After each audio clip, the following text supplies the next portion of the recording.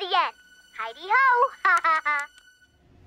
Hey guys, Tommy Purr here. Welcome back to the channel. I'm really, really sorry this video is like a day late. I was hoping my voice would come back after wrestling at Folsom in San Francisco, but uh, no, uh, it's not back all the way, but it is sounding a lot better. So today, I wanted to get this video out as fast as possible because I picked up this wonderful set that I've been waiting for. It is the McFarlane Toys 60s Batman Classic Villain's Lair, and this is a good size box. Like I have a large fat head and you can see how big this box is in comparison.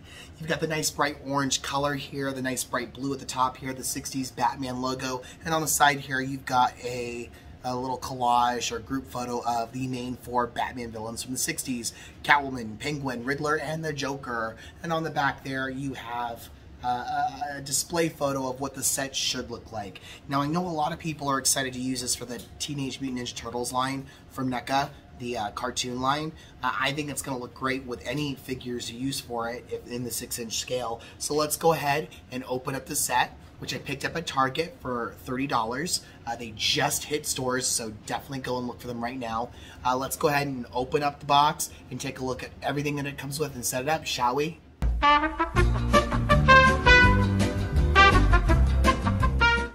All right, first things first, we're going to take a look at the back wall of this playset. And this is an expansive and very widespread playset. And I think that's amazing. This exceeds my expectations. I'm so very happy and so very surprised in, in a very good way, I might say.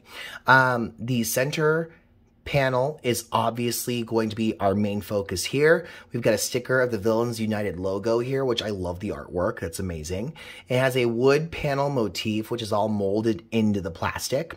The left panel is hinged onto the main panel and it's easy to remove and easy to put back on. You've got a molded fan right there with uh, the fan design being a sticker. And you've got another hinge right here towards the center of this little mini panel so you can fold it in, fold it out and kind of change the shape a little bit of the back wall. It's really dynamic. On the right here, you have the brick and grout motif, which is all molded into the plastic. It's amazing. It's really, really good. You also have a molded portrait right there, which you cannot take off the wall. And the actual art part of the portrait is a sticker as well. And it's like little penguins and Antarctica. So that's really cool. In terms of other accessories and furniture, I'm just going to let you know right now, all of the furniture is hollow. It's made of a very durable plastic. I don't want to repeat myself. So there is that. You get not one, not two, but three, ah, ah, ah, bookshelves. And they all have stickers to make it look like they're full of items, which is really, really cool because in photos and from far away, it does look like these shelves are full of items. And that is so awesome. So let's go ahead and set it up real quick here. You got books, you've got private belongings, and you've got a bunch of penguin crap. penguin food, an umbrella, little stuffed penguins. Let's try and move this a little bit closer. There we go. Beep, bop, boop. Make it look like that. There you go. All right. And you also get a filing cabinet. It's pretty tall, really durable.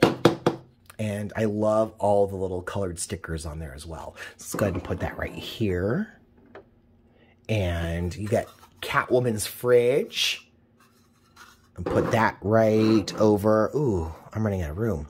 Okay, let's put that right there. There we go. And then, of course, no lair is complete without a villain computer or radio or whatever the hell this is supposed to be, a giant 8-track player. I have no idea. It clips right onto the table. So if you want to use the table for something else, you can. And it clips right back in. Presto, changeo. So let's put the computer just like over here to the side, right? There you go.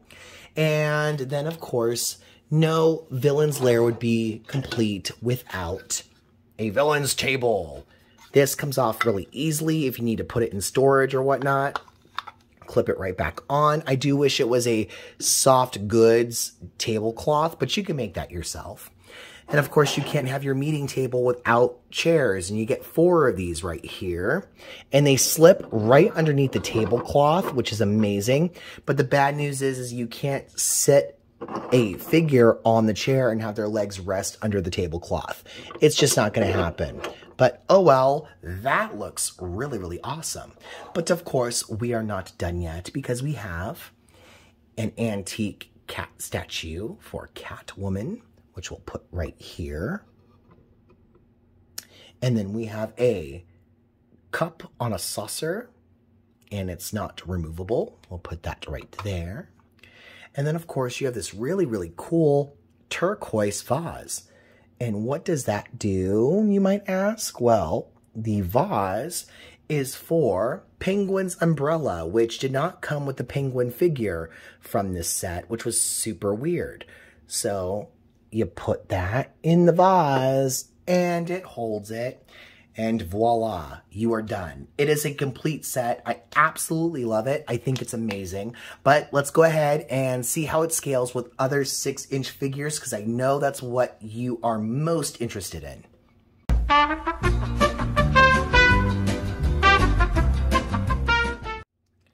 So let's go ahead and see what it looks like when you put a Fortnite figure in there. We got Man Cake. He always has trouble standing, so he's probably going to fall over just to spite me. And then, of course, we've got one of the best villains of all time, Marvel Legends Mystique. Let's see how she looks by the bookcases. Oh, she scales so well. She looks really, really good. I love that. And then, of course, we've got Eartha Kitt as Catwoman from the classic Batman series uh, toy line by McFarlane, which is what this playset is for. And so you have her seated right there by the table, and she looks great. This scales so much better than the McFarlane Toys Batcave that came out earlier this year. And even though the scale was a little off, I still bought it. I don't care. It's still pretty awesome. Overall, I give this set a 10 out of 10 on the perfect 10 scale. It's only $30 at Target. And for 30 bucks, you can't really go wrong with the set. I know there's going to be some people who are pissed off that the furniture is hollow or it seems kind of cheap, but what did you expect for 30 bucks? You know what, Todd? You could have charged $20 more and give us given us like working drawers and working doors and maybe like a soft goods uh, tablecloth and maybe some more accessories and I would have been fine paying that.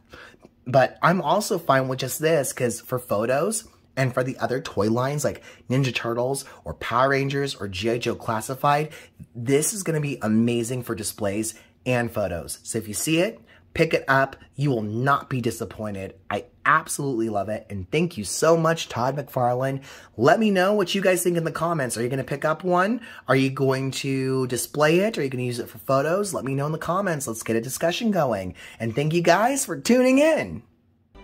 Hey, do you like wrestling? Do you like action figures and dolls? Do you like self-deprecating humor from chubby gay Asian boys with no romantic prospects? Oh my gosh, then you have come to the right place. Hit that bell to get notifications whenever I post a new video, and make sure you hit like, subscribe, and leave me some love in the comments, and follow me on my social media platforms. Keep it classy, keep it catty, and I'll see you soon.